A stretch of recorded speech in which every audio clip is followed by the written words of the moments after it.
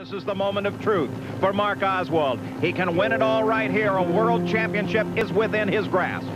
And his opponent, Ed McCulloch, right now just hoping and praying that the engine change was made successfully. Paul, they love to tell you that all of these engines are alike, but usually it takes at least one run to tune up a new motor. Well, there's plenty to worry about when you bring them to the line. For Oswald, it could be a world championship. McCulloch comes out hard, but now it's Oswald as he screams toward the world championship, and he's done it. Mark Oswald wins the round, wins the world championship with a 579. The late Paul Candies, as the old saying goes, felt the need for speed. Thanks to one of the most successful drag racing partnerships in history, Candies and Hughes.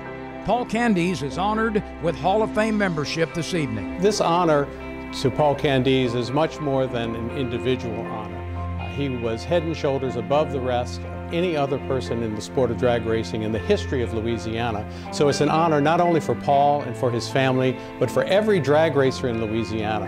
And it's only fitting that Paul Candies would be inducted into the Louisiana Sports Hall of Fame. Candies showed his business sense with his father's business, that he helped make one of the country's largest marine transportation companies. He did the same thing in drag racing, attracting big sponsors and more money for his company and the sport. Paul was a very generous person, and as I mentioned, did not seek any recognition. One of his favorite charities was the Drag Racing Association of Women, which Paul helped to establish. That organization, organization assists uh, injured racers and their families, and he was very active for many, many years. Uh, Paul was a personal uh, mentor to me and to my brother Glenn Menard, who was also involved in drag racing for many years, and I was very, very proud to have known him. And win was what Candies and Hughes did, often 45 major wins between 1970 and 1994, including 28 NHRA titles. Paul's accomplishments are unmatched by any other drag racer in Louisiana history. He was a remarkable man. He loved his family, he loved his racing community, and he truly loved the state of Louisiana.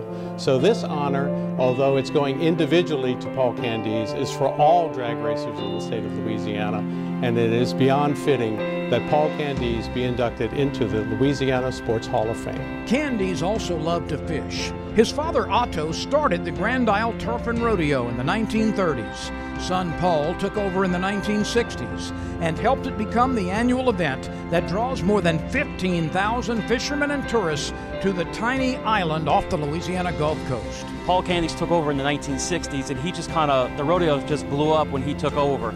It's the oldest competitive fishing tournament in the United States and a lot of that, the reason why it's going so strong is because of Paul Candies. And he's known as the granddaddy of the Tarpon Rodeo and it's a name that really fits because he really helped this rodeo expand to just more than a regional, than a local regional tournament. People from all over the country come over to Grand Isle to fish in this tournament